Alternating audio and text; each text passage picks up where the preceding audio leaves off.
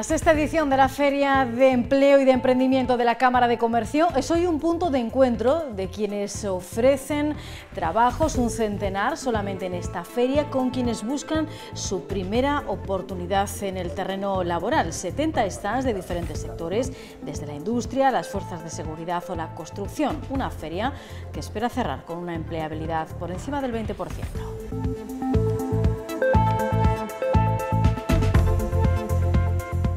Buenas tardes, ¿qué tal? Y no vamos a dejar el terreno empresarial porque el próximo 24 de noviembre la Federación Leonesa de Empresarios va a celebrar el Día de la Empresa reconociendo a algunos eh, de los eh, dirigentes de compañías. También eh, va a entregar siete menciones especiales a los mejores proyectos empresariales en León.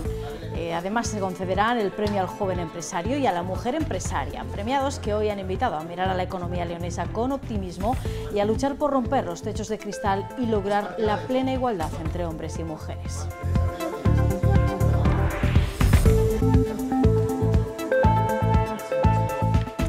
Y hoy y mañana la Universidad de León acoge unas jornadas que se centran en el programa de movilidad internacional, el Erasmus, que es una oportunidad para muchos estudiantes. Gracias a ella los participantes adquieren una experiencia que contribuye a la mejora de los distintos niveles educativos.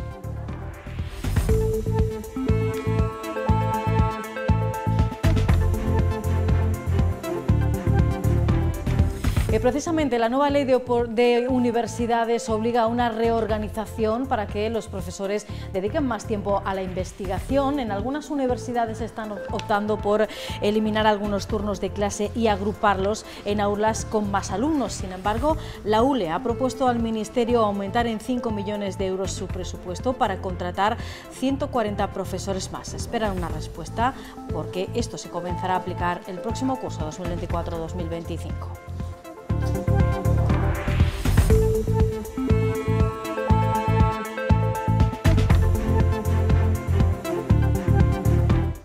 Y en los deportes, alegría desbordada en Astorga, ya tienen rival para la próxima eliminatoria de la Copa del Rey, es el Sevilla y este era el momento en el que los jugadores del Atlético Astorga conocían ese rival, un partido que se jugará en la Eragudina en el puente de diciembre, eliminatoria a partido único, Atlético Astorga y Sevilla.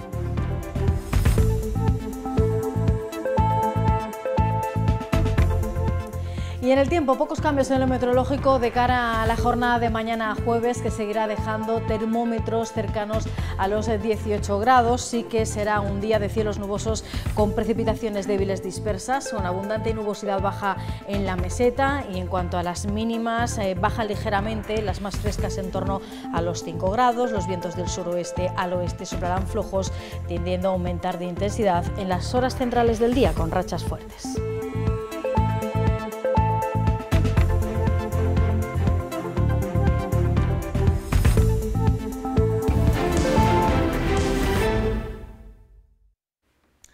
Es miércoles, es 15 de noviembre. Las cifras de desempleo en León están un punto y medio por debajo de la media nacional. Son buenos datos, pero para trabajar en seguir mejorando la empleabilidad, hoy se celebra la Feria del Emprendimiento de la Cámara de Comercio. Es un escaparate de empresas que ofertan a los cientos de jóvenes que pasan por allí salidas profesionales para poder elegir.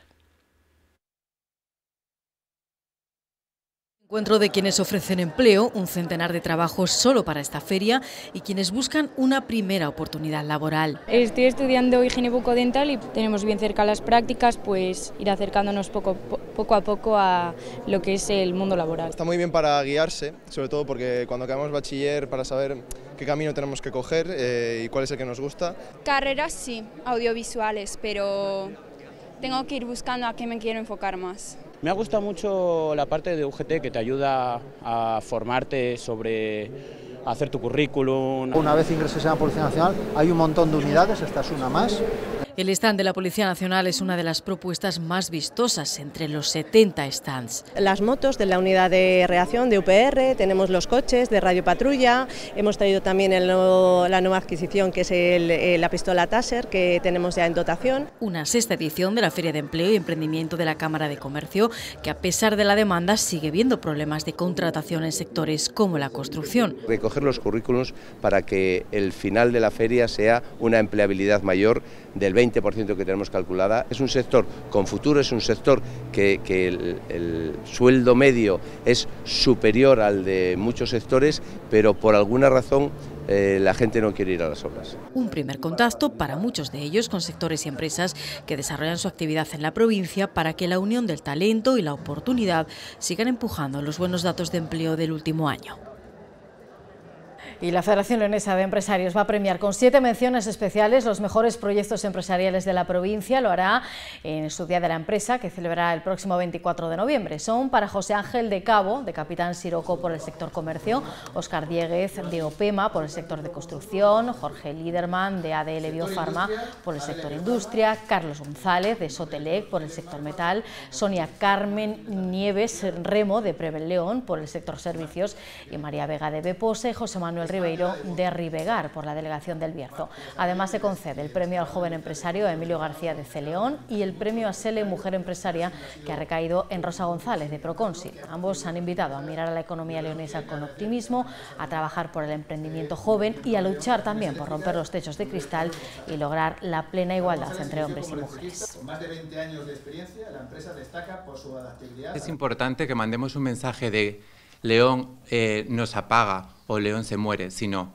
en León. Hay mucha gente que está aquí luchando por ello, apostemos por las empresas de León y apostemos por los empresarios de León. Estoy en un sector en el que mm, para las mujeres es muy difícil llegar, eh, es muy difícil mantenerse, es muy difícil promocionarse, hay techos de cemento, de cristal, suelos pegajosos y, un montón de, raros, de nombres raros que al final se traducen todos en que... Eh, a las niñas y a las jóvenes no les interesa la tecnología. Antes de llegar al terreno empresarial y laboral, el programa Erasmus es muy conocido por los proyectos de movilidad, pero la cooperación también forma parte de su esencia. Gracias a ella, los participantes adquieren una experiencia que contribuye a la mejora de los distintos niveles educativos. Hoy y mañana la Universidad de León acoge precisamente unas jornadas vinculadas a este programa europeo y dirigidas a asociaciones de cooperación. Book Design León te avanza la noticia del día.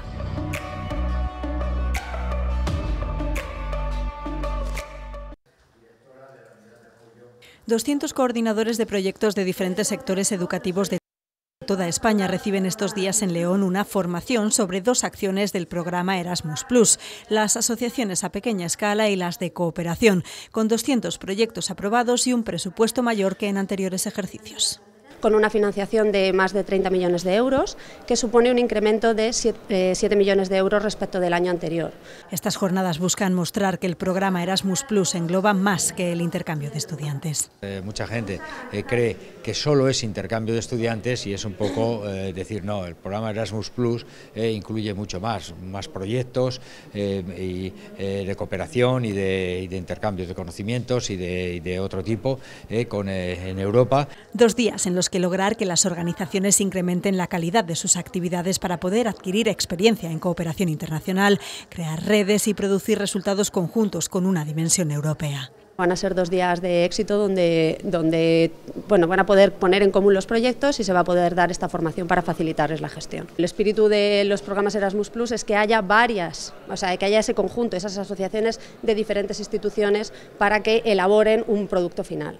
También buscan fomentar la cooperación a nivel europeo entre organizaciones más pequeñas de otros niveles académicos como la educación escolar, la formación profesional o la educación de personas adultas en esa esfera, académica nos quedamos porque la nueva ley de universidades reduce las horas lectivas a profesores, asociados y ayudantes y eso está llevando a algunas universidades como la de Valladolid a eliminar grupos, lo que masificará las aulas. Una reorganización que en la Universidad de León entienden que empeoraría la calidad de la enseñanza, además de que las propias infraestructuras adaptadas a grupos de estudiantes más pequeños conllevaría otra dificultad añadida. Por eso la ULE ha propuesto al Ministerio un aumento del presupuesto en 5 millones de euros para contratar 140 profesores más. esperan una respuesta en las próximas semanas porque a comienzos de año arrancará la organización del curso 2024-2025 en el que se aplicará ya esta nueva normativa. Nos han pedido estudios, varios eh, análisis de costes. El último que hemos presentado para ir ajustando a, los criterios que nos venían, nos venían solicitando, pues estamos hablando de 140 plazas, en torno a 140 plazas de profesor ayudante doctor y una estimación de unos 5 millones y medio de, Nuestras aulas ya están preparadas para eh, impartir docencia en grupos pequeños, en tener una docencia más cercana y conocer eh, de alguna forma más al alumno.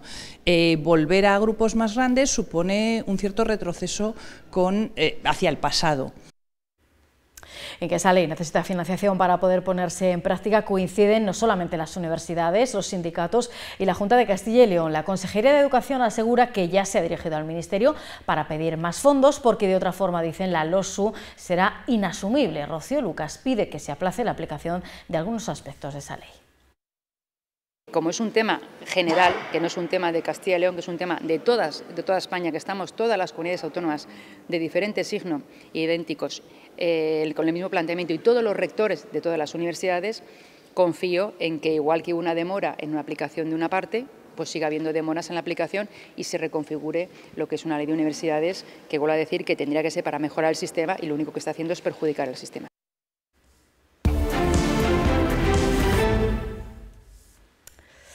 Con todos los focos puestos en la investidura de Pedro Sánchez en el Congreso, hoy Vox, al que la justicia ha desestimado el intento de parar esa sesión, ha asegurado que seguirá denunciando el golpe a la unidad de España. El vicepresidente de la Junta ha manifestado hoy en León que el PSOE ya no es un interlocutor válido y que tienen realmente difícil defender la falta de inversión en León mientras se riega de millones al separatismo catalán. Creo que le va a costar mucho eh, defender a los cargos públicos de la provincia de León que se estén condonando 15.000 millones de euros eh, de deuda al gobierno separatista catalán, mientras a la provincia de León se le da la espalda a su minería, a su industria, al soterramiento. Llamamos a una gran movilización social de todos los españoles, de toda clase y condición, de izquierdas, de derechas, de cualquier sensibilidad, en defensa de España y de nuestro Estado de Derecho. También el Partido Popular en el Ayuntamiento de León va a convocar un pleno extraordinario para someter a su consideración el debate de una declaración institucional en defensa de la Constitución española, la igualdad entre españoles y el equilibrio territorial. Lo hacen a raíz de analizar, dicen, las consecuencias que el pacto entre el Partido Socialista y Junts pueda tener para León y tras la manifestación del pasado domingo. Piden directamente al alcalde de la ciudad, a José Antonio Díez, que participe en el debate, que el resto de grupos políticos puedan replicar y que se convoque a una hora en la que puedan acudir la mayoría de leoneses. Es una evidencia la importante contestación social que tiene esta cuestión eh, y la importancia que todos los vecinos de León le dan a la misma. Por lo tanto, nos gustaría que ese pleno fuera convocado a una hora en la que la mayoría de los leoneses, por cuestiones laborales o de conciliación familiar, puedan asistir, como digo, para escuchar lo que opina el alcalde y el resto de concejales de la corporación. Más cosas. La Comisión de Economía de las Cortes rechaza priorizar a Zamora y Salamanca en el reparto de fondos transfronterizos. La UPL había presentado una proposición no de ley después de que en el último reparto Valladolid recibirá más fondos que Zamora, la raya fronteriza de Zamora y Salamanca con Portugal. Es una de las áreas más empobrecidas, envejecidas y despobladas de España y estos fondos vienen a buscar colaboraciones entre territorios para desarrollar proyectos que ayuden a revitalizar las regiones.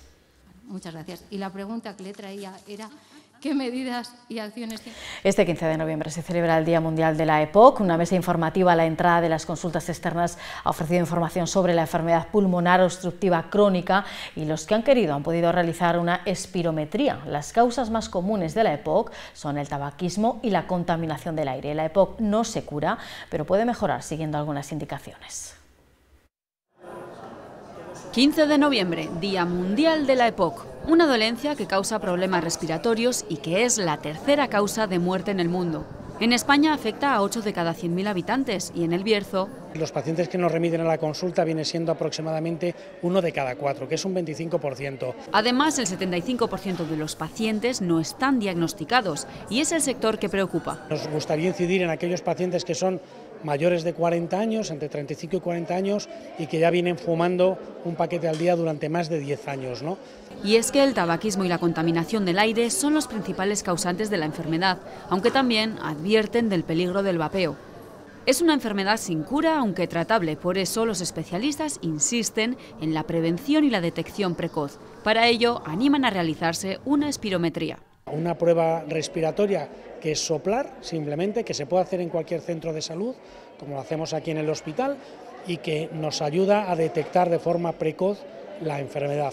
La fatiga y la falta de aire en nuestras actividades diarias son señales de alerta de la EPOC y una buena nutrición, ejercicio y hábitos de vida saludables los mejores aliados para mantener una buena calidad de vida. Este día nos deja otros asuntos que repasamos a continuación en formato breve. Comercial Electrón y sus primeras marcas les avanzan los breves. El INCIBE invertirá 1,2 millones de euros para aumentar las capacidades del Centro de Coordinación Nacional en España. Cuentan con el impulso de la Comisión Europea que cofinanciará al 50% el proyecto dentro de su estrategia de fortalecer las capacidades de los 27 centros de dicha red, uno por cada Estado miembro. Se apoya así la transformación digital y se potencian objetivos comunes para la soberanía tecnológica. Efectivos de la Guardia Civil y la Erchancha detuvieron a cinco personas y se practicaron otros tantos registros en domicilios de Bilbao y Cantabria en un operativo policial conjunto contra una banda criminal a la que se le atribuyen de momento 42 robos en viviendas en varias provincias de la mitad norte peninsular, entre ellas León. Se trata de un grupo itinerante, organizado y disciplinado, extremadamente activo con fuertes medidas de seguridad. La llegada de un secretario sustituto ha permitido al Ayuntamiento de San Andrés abonar la nómina de octubre a los casi 300 trabajadores con los que cuenta. Para desbloquear la partida, el secretario municipal y el tesorero debían dar el visto bueno al decreto de alcaldía. Es uno de los trámites que ha podido retomar el consistorio desde su llegada la semana pasada, lo que permitió también celebrar un pleno extraordinario con asuntos pendientes.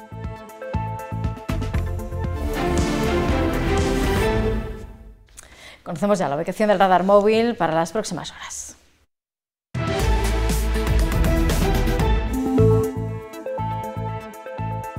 El radar móvil de la Policía Local de León estará ubicado a lo largo de esta tarde en San Ignacio de Loyola, en la Avenida Peregrinos, en la carretera de Vilecha, en Fernández Ladreda y en Reyes Leoneses.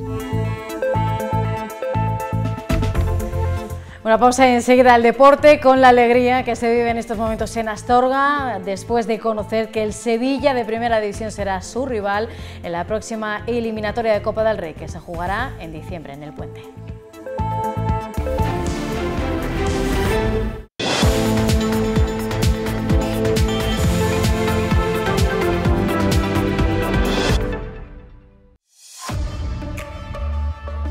Bioleón te avanza los deportes.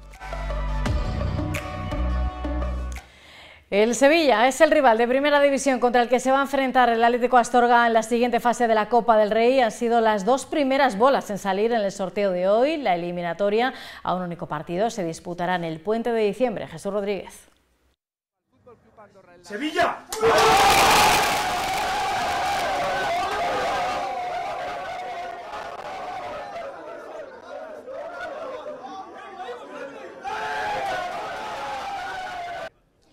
Los jugadores del Atlético Astorga de Tercera Federación han vivido como una auténtica fiesta el momento en el que ha salido la bola del Sevilla, el equipo de Primera División, actualmente en competición europea, que va a visitar la Eragudira en el próximo puente de la Constitución, a la espera de fijar la fecha en la que se va a celebrar ese partido, probablemente el 6 de diciembre. Nunca antes un equipo de ese nivel había pisado el césped de la Eragudina. Ahora se va a hacer todo lo posible para asegurar que ese partido histórico se dispute aquí en Astorga a pesar de deficiencias como la iluminación que tiene el Estadio Maragato.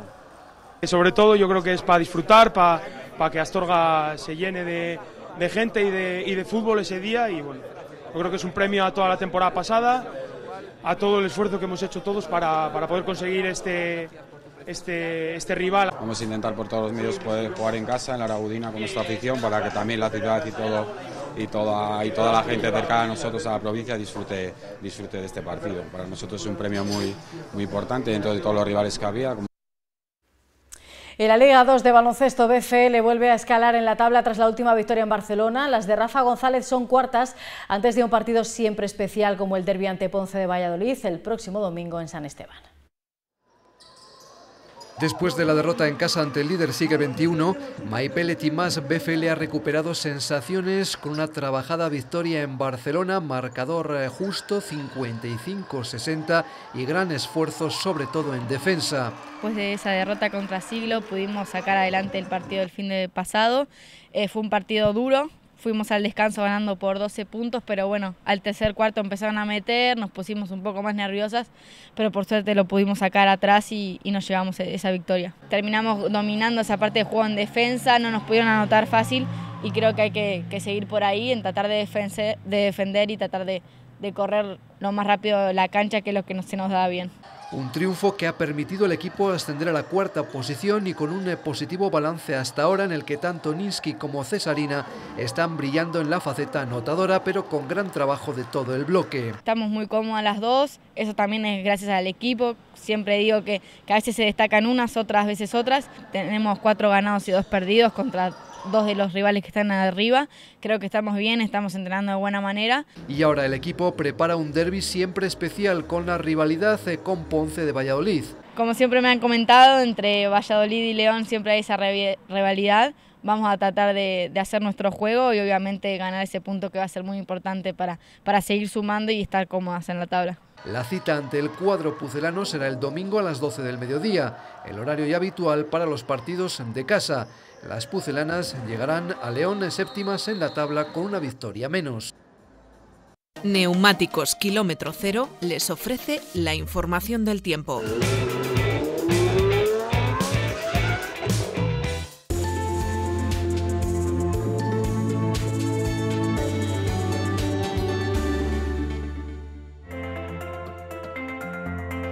Mañana jueves será un día de cielos nubosos con probables precipitaciones débiles dispersas, con abundante nubosidad baja en la meseta y tendiendo a abrir grandes claros ya en la segunda mitad del día. También habrá brumas y bancos de niebla matinales en zonas de montaña y puntos de la meseta. En cuanto a las temperaturas mínimas en descenso hasta los 5 grados, las máximas sin cambios seguirán alcanzando los 18 y los vientos del suroeste al oeste soplarán flojos, tendiendo a aumentar la intensidad en las horas centrales del día, con rachas fuertes, sobre todo en el norte.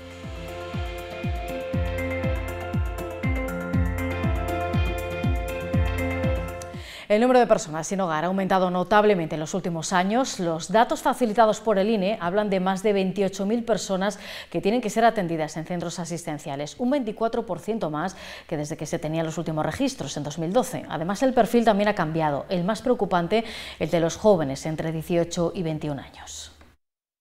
En el centro de día José María Lacor de Valladolid atienden de lunes a viernes todos los días. Vienen para los servicios básicos, ¿no? O sea, desayuno, duchas, lavandería. Ahora, con la llegada del frío, también abren los fines de semana. En invierno, los meses de más frío, igual, nos ponemos sobre las 80-90 personas. Una cifra que en los últimos años no ha dejado de aumentar. Fíjense, más de 28.500 personas piden ayuda en estos centros, lo que supone, ojo, un 24,5% más que en el año 2012, la última vez que se tienen registros. Se ha notado un aumento significativo en el número de, personas. ¿no? A final de año vamos a sobrepasar y con bastante la, la cifra del año pasado. La mayoría, más del 76%, son hombres menores de 45 años, pero la cifra de mujeres ha subido un 3,6% respecto al año 2012. Pues nada, ahora por lo menos tengo una habitación y me va bien y vengo por la mañana a desayunar. Preocupa también el número de jóvenes. Chicos muy jóvenes, de entre 18 y 21 años, que antes eran muy pocos los que venían en ese rango. Una lacra contra la que hay que seguir luchando.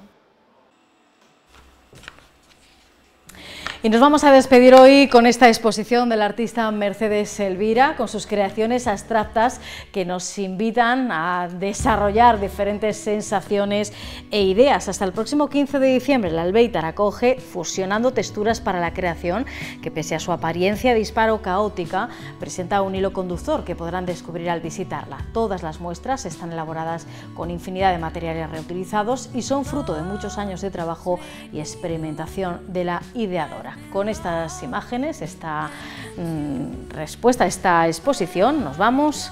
que, sean felices. Adiós.